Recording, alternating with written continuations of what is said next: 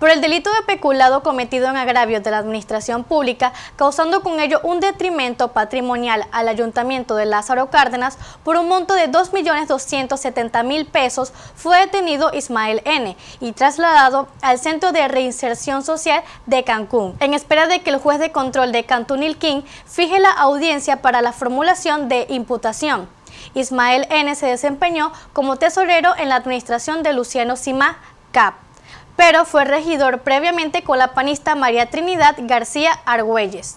Buscó afanosamente ser candidato a la presidencia municipal de Lázaro Cárdenas, realizando una pre-campaña rodeada de derroches, incluso regalando estufas y despensas.